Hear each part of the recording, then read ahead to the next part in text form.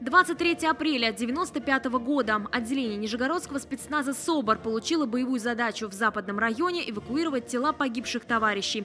Трижды в тот солнечный день Виктор Ильичев мог погибнуть. Его группа несколько раз попадала в засаду и чудом отделалась лишь ранениями. Это событие стало для Виктора Ильичева знамением. После пережитого он решил посвятить дальнейшую жизнь служению Богу. Хотел всех поприветствовать, пожелать всем крепкого здоровья, мирного неба над головой благополучия семейного и всего, чего вам хотелось. И особо, конечно, благодарность, как было сказано, Евгению Васильевичу Крупникову, низкий поклон, что благодаря его умелым действиям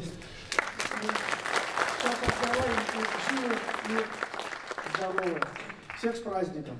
Десять лет назад на Северном Кавказе завершилась контртеррористическая операция. В горячей точке воевали более 20 тысяч нижегородцев, 320 погибли. Сегодняшний праздник – День мира на Северном Кавказе. Для них – героев Чеченской войны. Одни рассказывают боевые истории сами, а других вспоминают со слезами на глазах. Этот урок и для молодых ребят, говорят организаторы, чтобы знали, чему и у кого нужно учиться – мужеству, отваге и любви к своей родине. Конечно же, они должны видеть, общаться э, с ветеранами, кто уже прошел боевые действия, кто имеет боевые награды, э, потому что в свое время нас также воспитывали наши старшие товарищи, и поэтому даже самые сложные минуты мы понимали, что мы не имеем права отступить, потому что на кону стоит э, как э, боевых действий Чеченской Республики, в общем территориальная целостность нашего государства. Проводить памятные дни начала и окончания контртеррористической операции в Чечне планируется ежегодно.